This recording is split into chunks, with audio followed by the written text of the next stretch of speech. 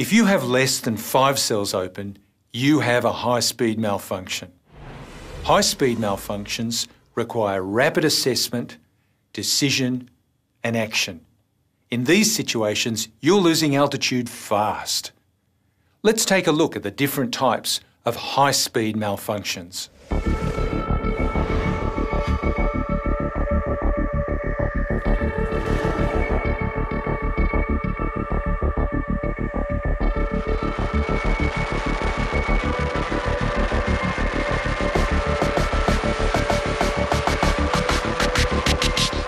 The cause of a hard pull is where you cannot deploy your pilot chute on the first attempt. It may be that you require more effort. The effect is that you remain at terminal velocity. The remedy is to confirm your grip on the pilot chute, dig your elbow into the side of the container and attempt to lever. If you still can't get it out, commence your emergency procedures immediately. Do not sacrifice altitude.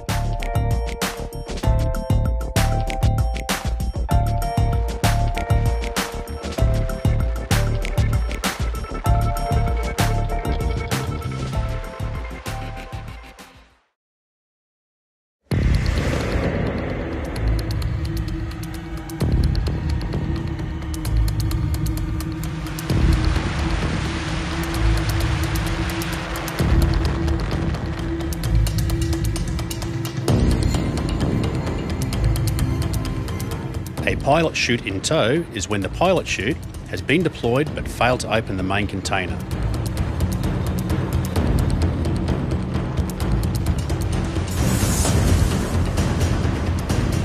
The effect of having the pilot chute towing behind means that you are still at terminal velocity.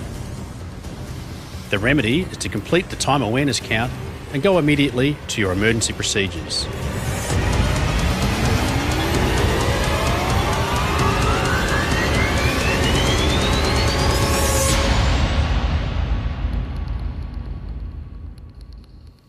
For a long, long time, my biggest fear was a pilot chute in tow uh, because for some reason, how, whether it's an uncocked pilot chute or uh, it's a closing pin, sorry, a closing loop that's too tight or a misrouted bridle, I've got a pilot chute towing out there behind me and and you know there's not really a lot I can do except cut away and then deploy a reserve out past it. And and if the main then comes out then I can end up with a, a main reserve entanglement.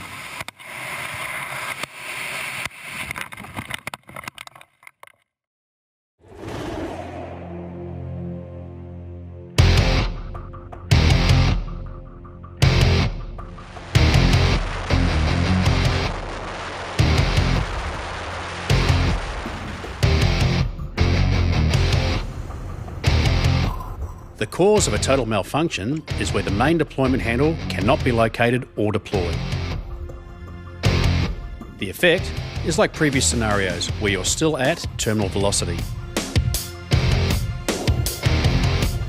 The remedy is to make only two attempts to locate your handle. If you're still unable to locate and deploy, immediately commence your emergency procedures.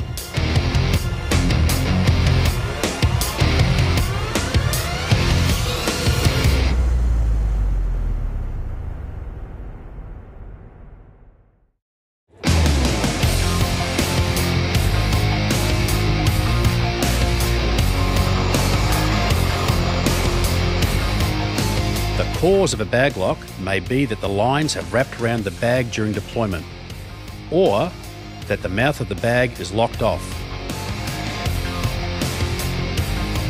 The effect is that you're still at terminal velocity and could also be in a feet to earth attitude, which increases your speed.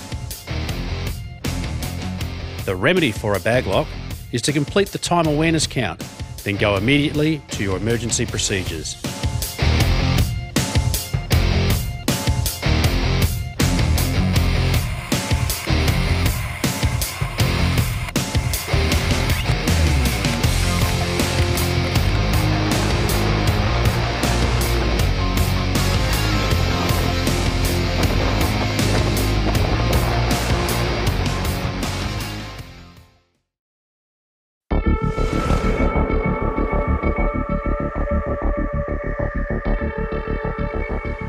A streamer is where the canopy is out or partially out of the deployment bag but is failing to open.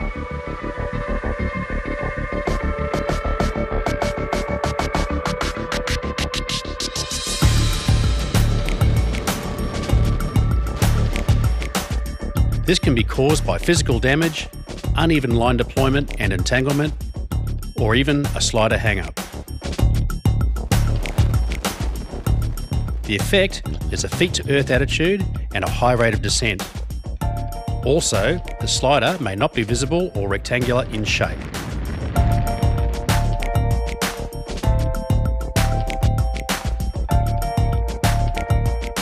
The remedy is to complete the time awareness count and immediately commence your emergency procedures.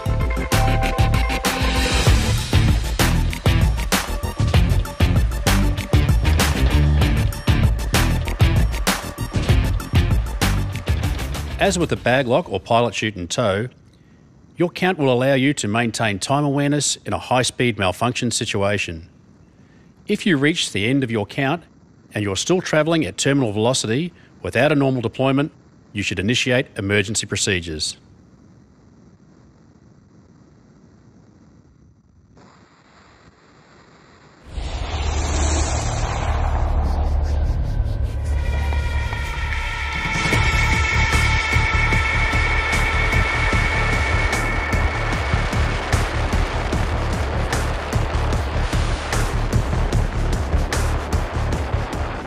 A horseshoe malfunction can be caused by an unstable deployment or a dislodged pin that opens the main container while the pilot chute remains in the BOC pouch.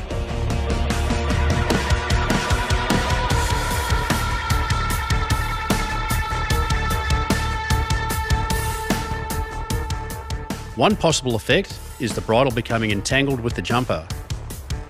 Another possible effect is the bag being out of the container with the pilot chute still in the BOC pouch. In both situations, you will be at terminal velocity. The remedy for both situations is to initiate your emergency procedures immediately.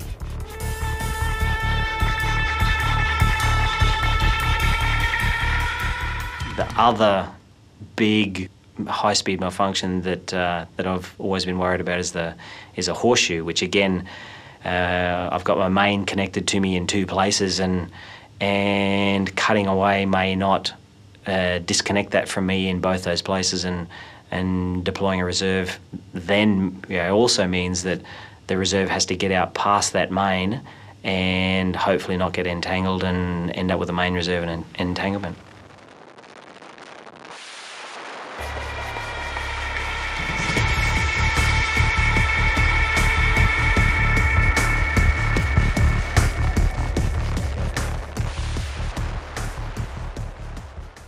As you have seen, there are a number of high-speed malfunction scenarios, all of which require the initiation of emergency procedures. Remember, you don't have time to analyse or fix the problem. You need to act immediately.